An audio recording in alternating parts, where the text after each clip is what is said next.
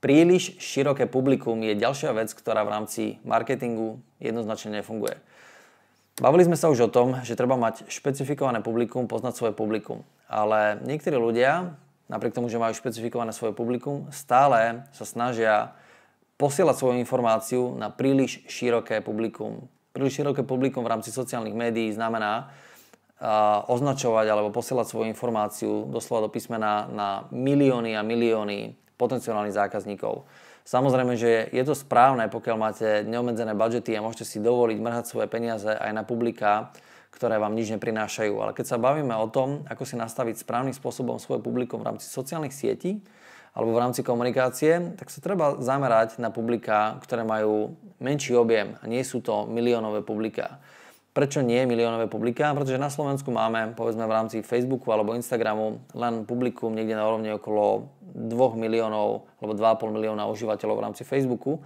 A keď chcem targetovať povedzme milióna viac, znamená, že targetujem tú väčšiu časť publika, alebo naozaj veľmi veľkú časť publika. Treba si uvedomiť, že väčšina ľudí, ktorí v skutočnosti chceme, aby boli naši zákazníci, sa v skutočnosti naši zákazníci ani nikdy nestanú. Ak by sme mali len tisíc nových klientov ročne, tak naša firma bude veľmi prosperovať. Ak by sme mali 10 tisíc klientov ročne, naša firma bude naozaj veľmi, veľmi veľká.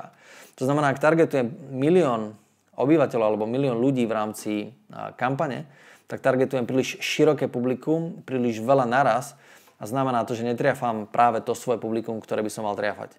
Práve preto existuje v rámci Facebooku alebo v rámci sociálnych sietí možnosť testovať svoje publika a zisťovať, na čo najlepšie reagujú. Je dobré poznať svoje publikum, rozpísať si to publikum podľa nejakých základných charakteristických vlastností.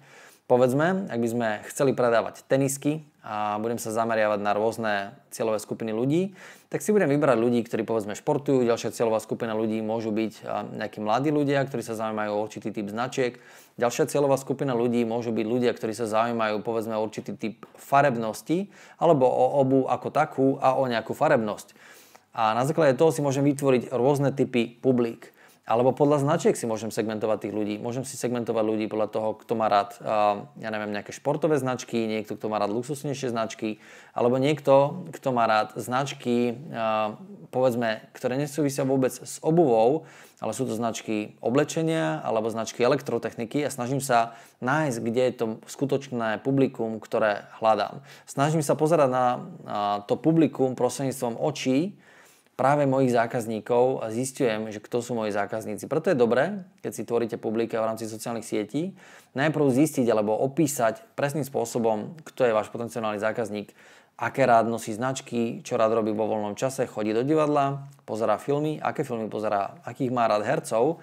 A to sú všetko informácie, na základe ktorých vy dokážete potom tie svoje publika v rámci Facebooku, sociálnych sietí vo všeobecnosti vyhľadávať, označovať a testovať. A keď otestujete, ktoré publikum funguje najlepšie, verte mi, našli ste doslova baňu na zlato, z ktorej dokážete ťažiť, pretože tí ľudia budú reagovať ďaleko viac ako všetci ostatní a vy z toho dokážete samozrejme ťažiť uh, buď lídy, teda záujemcov o vaše produkty, alebo ak predávate produkty prostredníctvom e-shopu, budete aj predávať vašich produktov ďaleko viac. Len kvôli tomu, lebo ste si dali námahu zistiť a určiť svoje publika úplne detailným spôsobom. Takže vyhnite sa tejto chybe v rámci marketingu. Necielte príliš zo široka na veľkú cieľovú skupinu ľudí, lebo viete, že určite sa tam nachádzajú. Áno, nachádzajú sa tam, ale keď určite presným spôsobom, kto to je, tak na základe toho bude vaša kampaň mať ďaleko lepší dopad, bude ďaleko lacnejšia a bude prinášať výsledky a to je presne to, čo chceme.